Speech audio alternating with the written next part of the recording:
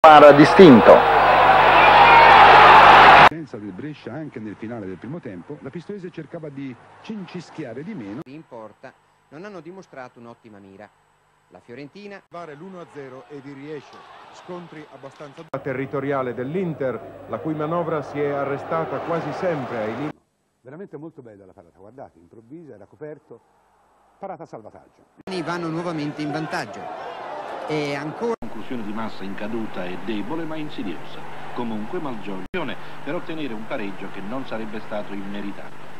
A Brescia, tanto per parlare dell'ultima avventura. Si scoraggiava gradualmente dopo alcune esecuzioni poco fortunate in campo, opponendosi così alla conclusione di Prandelli, concentrato sostituto come del dovuto non solo agli uomini di Trapattoni, ma 42esimo Magrin impegna Malgioglio direttamente su calcio d'angolo dell'Inter. Un Pisa qui al tiro con Dolcetti, tenace, aggressivo, mai rassegnato.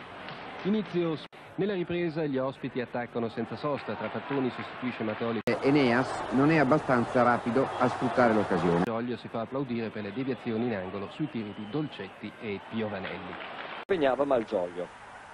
Nella ripresa il Palla me che io la passo a te, un minuetto quasi rococò e del quale questa è stata Ben disposta da Tiddia, mancano Virdis e lo... nel primo tempo perché Zola è un buon regista e Klinsmati sono comunque pericolosi. Marvogli il portiere interista quando De Napoli prova dalla distanza. Se alla fine ha vinto la paura. Infatti le due squadre che si... Cerca di concludere per sé. Una bella parata di Malgioglio, portiere bresciano a Nicoletti a tentare di sorprenderlo. Malgioglio, momenti di gloria. L'Inter coglie la difesa.